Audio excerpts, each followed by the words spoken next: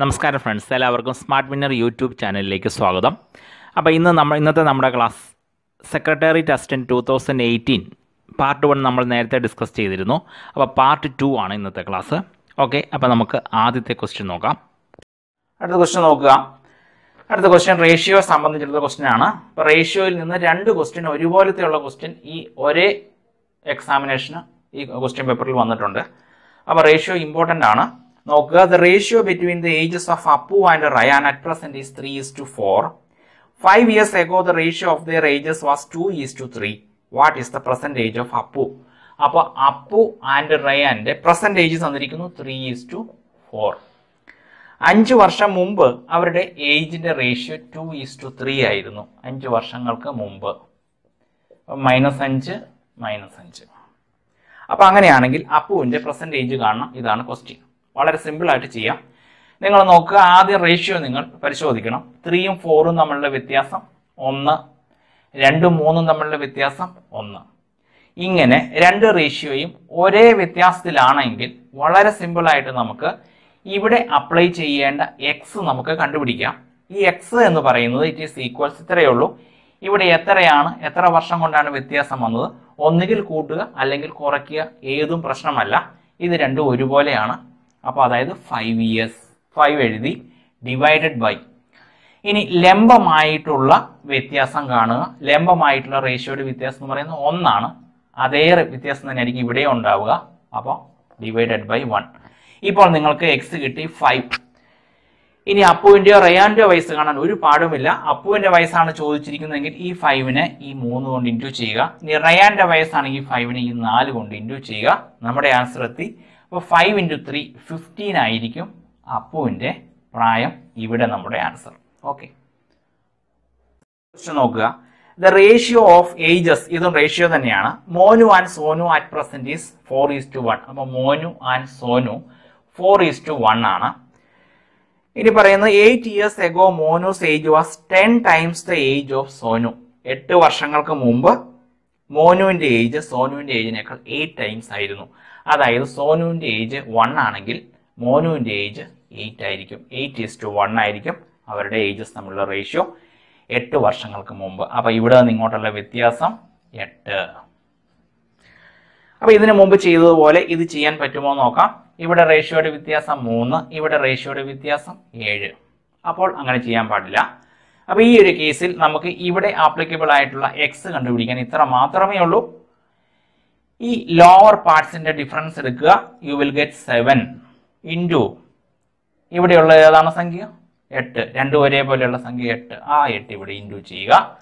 Divided by എന്ത് ചെയ്യുക? Cross multiply ചെയ്യുക. ടേക്ക് ദ ഡിഫറൻസ് അപ്പോൾ four into one four eight into one eight take the difference you will get four four വെട്ടിക്കുറയ്ക്കുക. നാല് രണ്ട് എട്ട്. ഏഴ് രണ്ട്. പതിനാല് എന്ന് നിങ്ങൾക്ക് എക്സ് കിട്ടും. നിങ്ങളോട് ചോദിച്ചിരിക്കുന്നത് what is the percentage of Monu? മോനുവിന്റെ percentage simple ഈ ഫോർട്ടീനെ ഏതുകൊണ്ട് ഇന്റു ചെയ്യുക? ഈ ഫോർ കൊണ്ട് ഇന്റു ചെയ്യുക. മോനുവിന്റെ ഏജ് കിട്ടി. സോനുവിന്റെ ഏജ് ആണെങ്കിൽ ഫോർട്ടീനെ വൺ കൊണ്ട് ഇന്റു ചെയ്യുക. നമ്മളോട് ഇവിടെ ചോദിച്ചിരിക്കുന്ന മോനുവിന്റെ ഏജ് മോനുവിന്റെ ഏജ് എന്ന് പറഞ്ഞാൽ ഫോർട്ടീൻ ഇന്റു ഫോർ എത്ര വരും? അൻപത്തി ആറ് ഓക്കെ സിമ്പിൾ മറ്റൊരു ക്വസ്റ്റ്യൻ നോക്കുക. The S I on a sum of money is equal to the principal and number of years is equal to the rate of interest per annum find the rate of interest S I എന്ന് പറയുന്നത് simple interest എന്ന് പറയുന്നത് is equal to the principal പ്രിൻസിപ്പാളിന് equal ആണ്. ഇതാണ് ആദ്യത്തെ സെന്റൻസിൽ പറയുന്നത്. കൂടെ പറയുന്നു നമ്പർ ഓഫ് ഇയേഴ്സ് അതായത് N is equal to rate of interest numerically number of years is equal to R അതായത് എൻ പത്ത് വർഷമാണെങ്കിൽ ആറും പത്ത് വർഷം. എൻ ഇരുപത് വർഷമാണെങ്കിൽ ആറും ട്വന്റി പെർസെന്റ് ഇത്രയേ ഉള്ളൂ. അപ്പൊ അങ്ങനെയാണെങ്കിൽ നമ്മളോട് ചോദിച്ചിരിക്കുന്നു find the rate percent rate percent കണ്ടുപിടിക്കണം. അപ്പൊ നമുക്ക് നോക്കാം നമുക്കറിയാം. സാധാരണ പലിശയെ സംബന്ധിച്ചിടത്തോളം ഒരു- ഒരേ ഒരൊറ്റ ഫോർമുല മാത്രമേ ഉള്ളൂ. I equals P N R divided by hundred simple ആയിട്ട് ഓർത്തിരിക്കാവുന്ന ഫോർമുല അപ്പൊ ഇവിടെ നമ്മളോട് എന്ത് പറഞ്ഞു? ഐ എന്ന് പറയുന്നത് എന്താണ്? സിമ്പിൾ ഇൻട്രസ്റ്റ് എന്ന് പറയുന്നത് പി തന്നെയാണ്. അപ്പൊ ഞാൻ ഇവിടെ എന്ത് ചെയ്യുന്നു? പി എഴുതുന്നു. ഓക്കെ ഇനി അടുത്തത് പറയുന്നത് നമ്മളോട് റേറ്റ് ഓഫ് ഇൻട്രസ്റ്റ് കണ്ടുപിടിക്കണം. നമ്മളോട് പറഞ്ഞിരിക്കുന്നത് rate of interest is equal to N അപ്പോൾ ഒന്നുകിൽ എന്നിന് ആറെന്ന് കൊടുക്കാം അല്ലെങ്കിൽ ആറിന് എന്ന് കൊടുക്കാം. പക്ഷെ നമുക്ക് ഇവിടെ കണ്ടുപിടിക്കേണ്ടത് എന്താണ്? ആറാണ് അപ്പോൾ അതുകൊണ്ട് ആറിന് നമ്മൾ എൻ എന്ന് കൊടുക്കരുത്. പകരം എന്നിന് ആറെന്ന് കൊടുക്കാം. അപ്പം ഞാൻ ഈ എന്നിന് ഇവിടെ എന്തെഴുതുന്നു ആർ എന്നെഴുതുന്നു ഓക്കെ ഇനി നിങ്ങൾ നോക്കുക ഈ പിയും ഈ പിയും വെട്ടിക്കളയാം. ഇപ്പോൾ നമുക്ക് റൈറ്റ് സൈഡിൽ R square divide by hundred ഉണ്ട്. ഇവിടെ ഒരു ഒന്ന് നിൽപ്പുണ്ട്. ഞാൻ ഈ ഹൺഡ്രഡിനെ എടുത്ത് ഇങ്ങോട്ടേക്ക് കൊണ്ടുവരുന്നു. അപ്പോൾ എനിക്ക് ഇങ്ങനെ കിട്ടും. Hundred is equals R into R R square R square hundred ആണെങ്കിൽ ആർ എത്ര വരും? Root hundred which is equal to ten നമ്മുടെ ആൻസർ എത്തി. റേറ്റ് ഓഫ് ഇൻട്രസ്റ്റ് എത്രയാണ്? ടെൻ പെർസെന്റേജ് ഓക്കെ സിമ്പിൾ മറ്റൊരു സിമ്പിൾ ക്വസ്റ്റ്യൻ വളരെ വളരെ സിമ്പിൾ ആയിട്ടൊരു ക്വസ്റ്റ്യൻ ആണിത്. Ten plus ten into ten division ten minus ten എത്രയാണ്? വളരെ സിമ്പിളായിട്ട് ചെയ്യാൻ നമുക്കറിയാം. ബോട്ട്മാസ് റൂൾ അനുസരിച്ച് സങ്കലനം കുറയ്ക്കൽ ഇത് നമ്മൾ ഒരിക്കലും ആദ്യം ചെയ്യരുത്. ഡിവിഷൻ മൾട്ടിപ്ലിക്കേഷൻ അത് വേണം ആദ്യം ചെയ്യാൻ. അപ്പോൾ നമ്മൾ ഇത് ആദ്യം ചെയ്യണം. അപ്പോൾ ten plus ten into ten yes ten into ten division ten എന്ന് പറഞ്ഞാൽ ഇങ്ങനെയാണ് നമ്മൾ എഴുതുക. മൈനസ് ടെൻ അപ്പോൾ ഇത് നമുക്ക് വെട്ടിക്കുറയ്ക്കാം. ഇതിങ്ങനെ പോരും. അപ്പോൾ നമുക്ക് ഇങ്ങനെ കിട്ടും ടെൻ പ്ലസ് ഇവിടെ ബാക്കി വെച്ചോളൂ ടെൻ മൈനസ് ടെൻ. ഓക്കെ? ഈ ടെൻ മൈനസ് ടെൻ സീറോ ആയി പോയി. നമുക്ക് എന്ത് ആൻസർ കിട്ടും? പത്ത്. ഓൾ സിമ്പിൾ മറ്റൊരു വളരെ സിമ്പിൾ ആയ ഒരു റീസണിങ് ക്വസ്റ്റ്യൻ ആണിത്. ഇത്രയേ ഉള്ളൂ. E G H J K M N P അടുത്തത് ഏത്? വളരെ സിമ്പിൾ ഇ കഴിഞ്ഞ് എഫ് എഴുതിയില്ല ജി എഴുതി. അടുത്തത് ലെറ്റർ എഴുതി എച്ച് ഐ എഴുതിയില്ല ജെ എഴുതി. അടുത്ത ലെറ്റർ എഴുതി കെ നെക്സ്റ്റ് ലെറ്റർ എഴുതിയില്ല എം എഴുതി. പിന്നെ എൻ എഴുതി. അടുത്ത ലെറ്റർ എഴുതിയില്ല ഒ എഴുതിയില്ല പി എഴുതി. അപ്പോൾ അങ്ങനെയാണെങ്കിൽ അടുത്ത ലെറ്റർ ക്യൂ വരും. ആറ് എഴുതില്ല അടുത്ത ലെറ്റർ എഴുതും എസ് എഴുതും. സിമ്പിൾ മറ്റൊരു വളരെ സിമ്പിളായ മറ്റൊരു ക്വസ്റ്റ്യൻ ആണിത്. അടുത്തത് ഏത് വരും ഈ സീരീസിൽ സിമ്പിൾ ആയിട്ടുള്ള കാര്യം. ഏഴിനോട് എത്ര കൂട്ടിയാൽ പന്ത്രണ്ട് കിട്ടും? അഞ്ച് കൂട്ടിയാൽ. പന്ത്രണ്ടും ഏഴും പത്തൊമ്പത്. അടുത്തപ്പോൾ എത്രയായിരിക്കും കൂട്ടേണ്ടി വരിക? ഒമ്പത് കൂട്ടേണ്ടി വരും. പത്തൊൻപത് ഒമ്പതും ഇരുപത്തി എട്ടായിരിക്കും ഇവിടെ നമ്മുടെ ആൻസർ. വളരെ സിമ്പിൾ.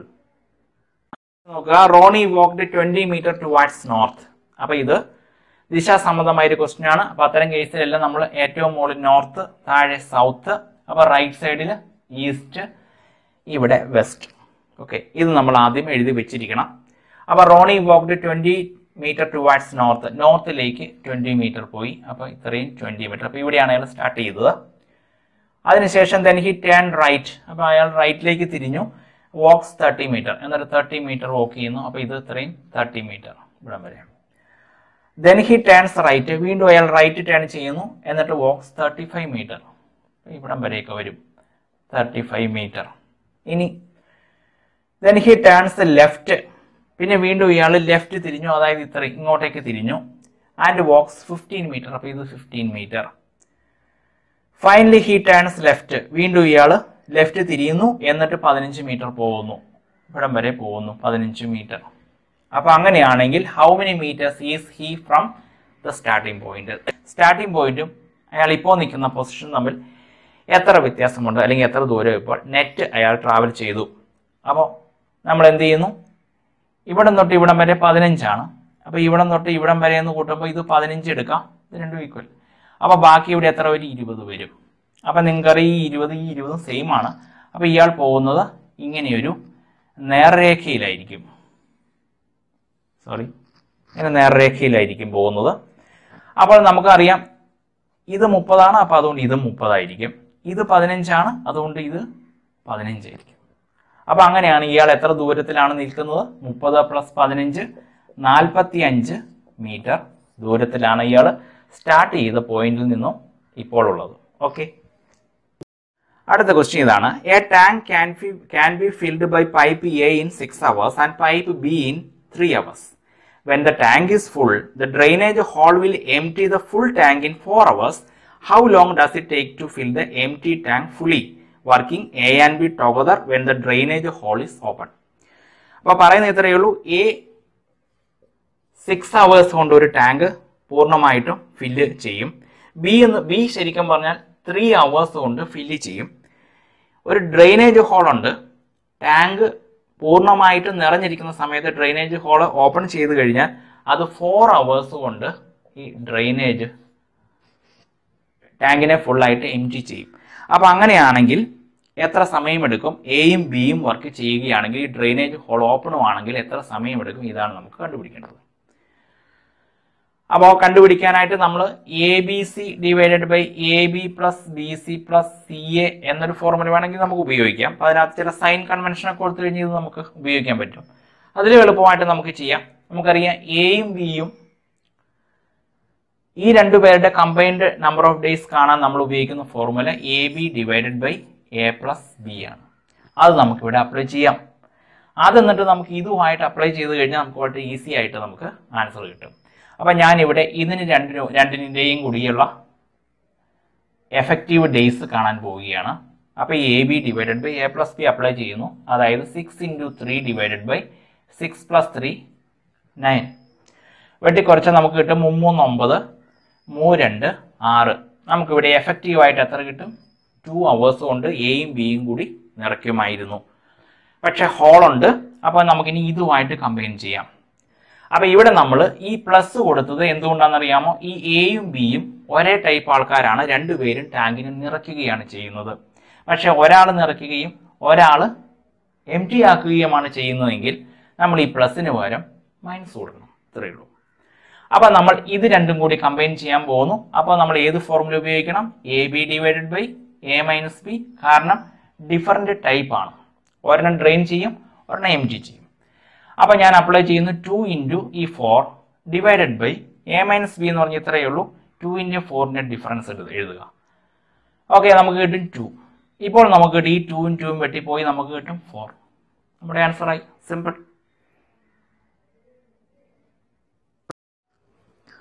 ഇനി ഇതേ ക്വസ്റ്റ്യൻ തന്നെ A B C divided by A B plus B C plus C A ഉപയോഗിച്ച് എങ്ങനെ ചെയ്യാമെന്ന് നോക്കാം.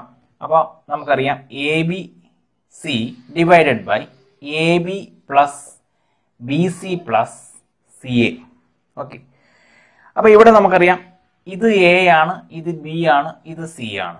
ഇവിടെ നമ്മൾ ഡി എന്ന് എഴുതിയ ഡ്രെയിനേജ് എന്ന രീതിയിൽ എഴുതിയതാണ്. അപ്പോൾ ഇത് രണ്ടും ഒരേ ആൾക്കാരാണ്. ഈ ഈ രണ്ടും ശരിക്കും പറഞ്ഞാൽ ടാങ്ക് നിറയ്ക്കുകയാണ് ചെയ്യുന്നത്. പക്ഷേ ഇത് ടാങ്ക് ഡ്രെയിൻ ചെയ്ത് കളയുകയാണ് ചെയ്യുന്നത്. അപ്പോൾ ഇത് രണ്ടും നമ്മൾ പോസിറ്റീവായിട്ട് എടുത്തു കഴിഞ്ഞാൽ ഈ സി നമ്മൾ നെഗറ്റീവായിട്ട് അപ്പോൾ അതായത് ഇതിനകത്ത് സി ഉൾപ്പെടുന്നതെല്ലാം നെഗറ്റീവായിട്ട് തീരും. അപ്പൊ ഞാൻ പക്ഷെ നിങ്ങളോട് പറയുന്നു ഈ ഒരു കേസിൽ നിങ്ങൾ എന്താണ് ചെയ്യേണ്ടതെന്ന് ചോദിച്ചു കഴിഞ്ഞാൽ സി ഉൾപ്പെടുന്നതെല്ലാം നെഗറ്റീവ് ആക്കാതെ സി ഉൾപ്പെടാത്തത് മാത്രം നെഗറ്റീവ് ആക്കുക. അപ്പൊ ഇത് ഇങ്ങനെ വരും. A B C divided by A B C ഉൾപ്പെടുന്നതല്ല.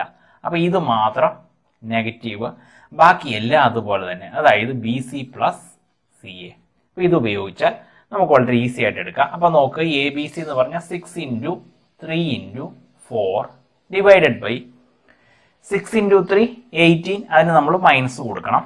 ഇവിടെ മൈനസ് എ ബി പിന്നെ ബി സി മൂന്നാൽ പന്ത്രണ്ട് പ്ലസ് ഫോർ ഇന്റു സിക്സ് അതായത് സി എ ഫോറിന്റെ അറുനാല് ഇരുപത്തിനാല്. അപ്പോൾ ഇത് രണ്ടും പോസിറ്റീവ് ഇത് നെഗറ്റീവ് അപ്പോൾ ഇത് രണ്ടും നമുക്ക് കൂട്ടാം. അപ്പോൾ നമുക്കിവിടെ മുപ്പത്തിയാറ് കിട്ടും. ഇവിടെ പതിനെട്ടും കിട്ടും. മൈനസ് പതിനെട്ടും കിട്ടും. അപ്പോൾ അങ്ങനെയാണെങ്കിൽ ഇവിടെ നെറ്റ് എഫക്റ്റ് എത്ര വരും? പതിനെട്ട് വരും. വെട്ടിക്കുറയ്ക്കുക. ആറ് മൂന്ന് പതിനെട്ട് ഈ മൂന്നും ഈ മൂന്നും വെട്ടിപ്പോയിട്ട് നമുക്ക് ഡയറക്റ്റ് ആൻസർ കിട്ടും four okay the largest natural number which exactly divides the product of any four consecutive natural numbers is? Question ഇത്രയേ ഉള്ളൂ. ഏതൊരു കോൺസിക്യൂട്ടീവ് ആയിട്ടുള്ള അല്ലെങ്കിൽ അടുത്തടുത്ത് വരുന്ന നാല് നാച്ചുറൽ നമ്പേഴ്സ് എടുത്താൽ അതായത് ഇപ്പൊ പതിനഞ്ച് രൂപയാണ് പതിനഞ്ച് പതിനാറ് പതിനേഴ് പതിനെട്ട്. അതിന്റെ പ്രോഡക്റ്റ് ഏത് നമ്പർ കൊണ്ട് നമുക്ക് പൂർണമായിട്ട് ഹരിക്കാൻ പറ്റും? ഏത് വലിയ നമ്പർ കൊണ്ട്?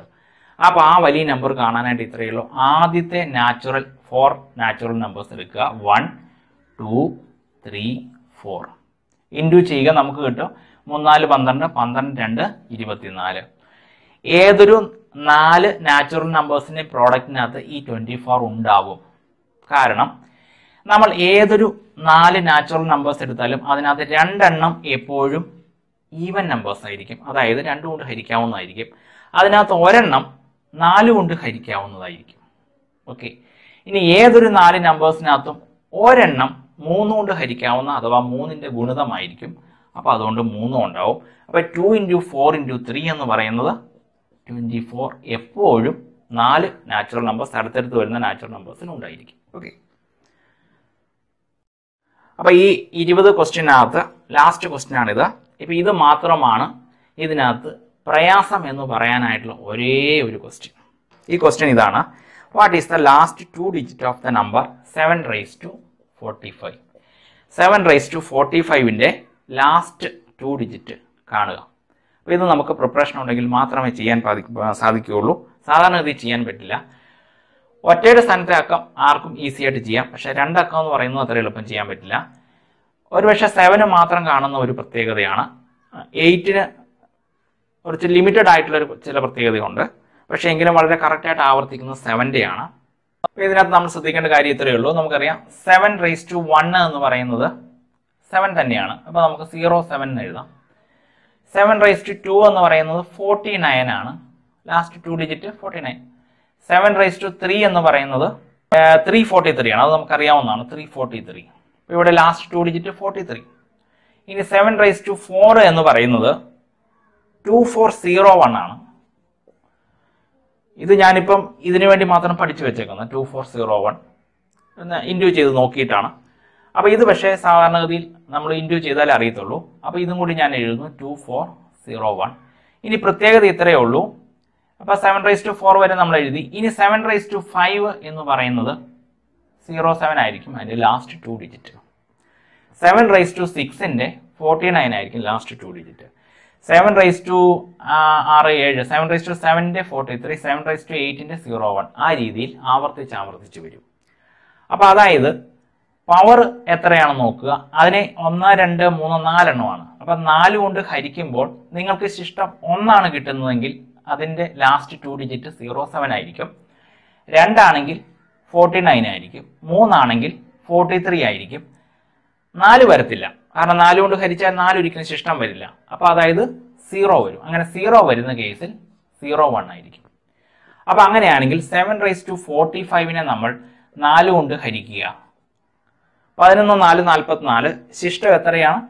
ശിഷ്ടം നമുക്ക് വൺ കിട്ടും. അങ്ങനെ വൺ ആണെങ്കിൽ അത് ദി ആൻസർ സീറോ സെവൻ ആയിരിക്കും. ഇത് നമ്മൾക്ക് അറിഞ്ഞ അറിഞ്ഞെങ്കിൽ മാത്രം നമ്മൾ ഇത് നേരത്തെ കണ്ട ക്വസ്റ്റ്യൻ ആണെങ്കിൽ മാത്രമേ സാധാരണ ചെയ്യാൻ പറ്റുകയുള്ളൂ. ഓക്കെ ഓക്കെ ഫ്രണ്ട്സ് ഇന്നത്തെ ക്ലാസ് നിങ്ങൾക്ക് ഉപകാരപ്രദമായെങ്കിൽ ലൈക്ക് ചെയ്യാൻ മറക്കരുത്. നിങ്ങളുടെ അഭിപ്രായങ്ങളും നിർദ്ദേശങ്ങളും കമന്റ് ബോക്സിൽ രേഖപ്പെടുത്തുക. അതുപോലെ ആദ്യമായാണ് ചാനൽ കാണുന്നതെങ്കിൽ സബ്സ്ക്രൈബ് ചെയ്യുക. ബെൽ ബട്ടൺ കൂടി അമർത്തുകയാണെങ്കിൽ പുതിയ ക്ലാസ്സുകൾ അപ്ലോഡ് ചെയ്യുമ്പോൾ തന്നെ മൊബൈലിൽ നോട്ടിഫിക്കേഷൻ ലഭിക്കുന്നതാണ്. ഓക്കെ.